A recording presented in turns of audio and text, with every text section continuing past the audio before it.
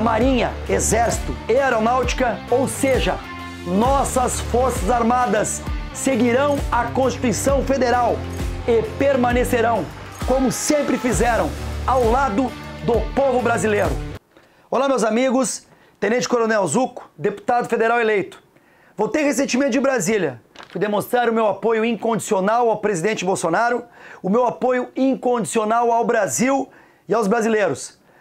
Quero destacar alguns pontos muito importantes da nota oficial das Forças Armadas aos brasileiros, que foi publicada hoje, 11 de novembro de 2022.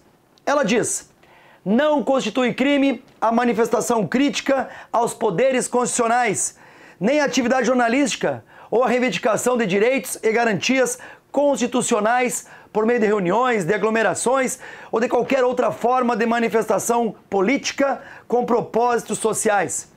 A nota também destaca, abro aspas, as Forças Armadas permanecem vigilantes, atentas e focadas em seu papel constitucional na garantia de nossa soberania, da ordem e do progresso, sempre em defesa de nosso povo.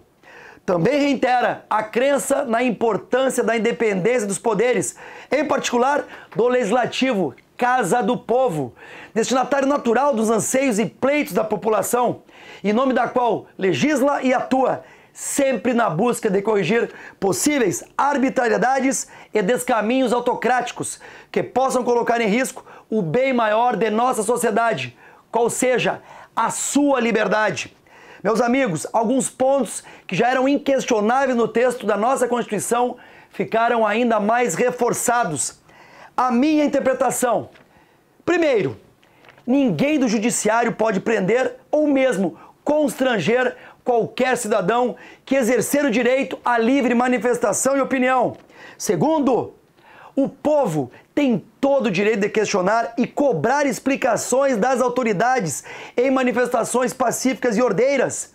Terceiro, os brasileiros têm pleno direito de ir à frente da casa do povo, manifestar sua contrariedade e pressionar seus representantes para que nossa liberdade seja garantida, para que o processo democrático seja respeitado e que não serão admitidos quaisquer atos de censura. Por fim, que a Marinha, Exército Aeronáutica, ou seja, nossas Forças Armadas, seguirão a Constituição Federal e permanecerão, como sempre fizeram, ao lado do povo brasileiro. Pátria, dever, honra e liberdade